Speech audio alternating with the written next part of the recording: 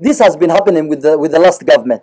But after the swearing in of the current president, His Excellency William Samoei Ruto, he gave an, a, a statement himself. He abolished the unit. It has really, you know, it has been halted for few, I think, few months, but it came back. This thing is now uh, with us. So many people are missing. Uh, other than the elected leader, we have so many civilians that are missing. I'm, I'm, I'm sure the statements are all over in the police stations. Unfortunately, now it came to the leaders. We are, we, we are missing an MCA. Tomorrow it will come to the members of parliament. It will, it will come to the governors. It will come to the senators. We cannot accept this kind of, you know, uh, issues happening in our country. We cannot accept at all. We gave this scenario to the president 21st uh, August last, last month. We gave the president this issue.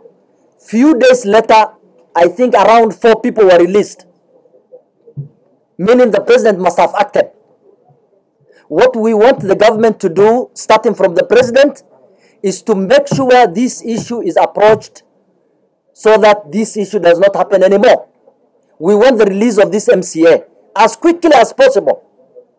90% it is in the hands of the government. It is in the hands of our security agents.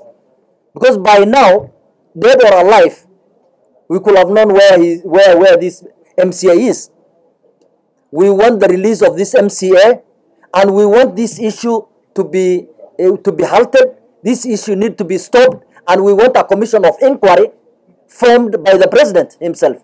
Kenya is not a banana republic. It is a country that is supposed to be governed by the rule of law. And as far as we are concerned, the constitution of Kenya has not been suspended. And what we are asking as uh, people from the region, fellow colleagues of Honorable Yusuf of Dela Ward, we say if there is any Kenyan from any part of this country who has been found or suspected to have done something wrong, anything wrong, wrong in law, then he should be subjected to the processes that are well established in the laws of this country. An MCA, a leader, who has been abducted for weeks, cannot be missing. If he's a criminal and there is sufficient evidence to pin him down, we expect that we request the government to bring him to the courts of law so that he can face justice. But he can't be missing a leader. If he's missing tomorrow, I'll be missing. I'm equally a leader. So we want the rule of law and the, uh, the just, criminal justice system to be functional. Since the hijacking and unfortunate disappearance of the MCA has ignited public, uh, widespread public outrage, intensifying the demand for clear answers, swift and decisive action, the continued silence to death, even after reporting, and this being a state officer, being an elected officer.